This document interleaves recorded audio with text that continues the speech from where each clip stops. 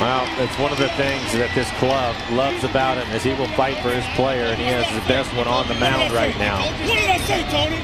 What did I say? You, oh, see, what are you going to see in the report? What are you going to see in the report? I saw balls right there. They don't play on the ball. What are you going to say in your report? Ooh.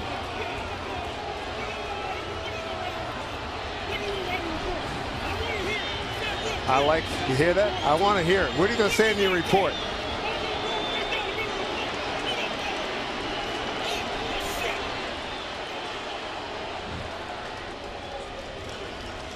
Well, it was clear. It, Lloyd obviously ticked off.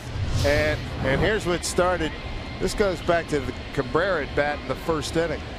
The timeout call. Well, you can see Cabrera motion. called timeout, and it was a late timeout called by Randazzo. And when you could see Cabrera, Cabrera starting to back out as Randazzo was calling him, he was backing in because Felix started his motion. And that's what kind of started this whole thing. Felix wasn't happy about it. Lloyd certainly wasn't. I don't blame him. 3 2.